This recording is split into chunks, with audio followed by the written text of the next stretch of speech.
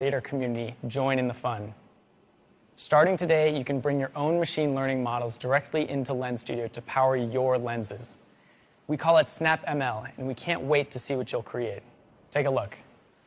Hi, I'm Ola, an interactive engineer at Snap. My team takes the tools we use to build lenses and makes them publicly available in Lens Studio. Today, our team uses machine learning to transform the world around us, powering some of Snapchat and Lens Studio's most important building blocks. And now, we're letting you expand what's possible. Introducing Snap ML, for the first time, you can bring your own convolutional neural networks to Lens Studio, enabling anyone from artists to developers to brands to build and share AR experiences powered by machine learning with millions of Snapchatters globally. Partners like Prisma are using Snap ML to enable you to see the world through an entirely different lens. In partnership with Wannaby, We've created a foot tracking template powered by their ML model that allows anyone to easily create experiences like this realistic virtual shoe try-on lens.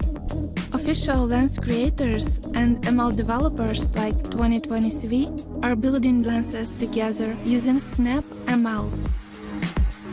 You can even learn a new language, adding a new dimension to immersive learning. What will you create?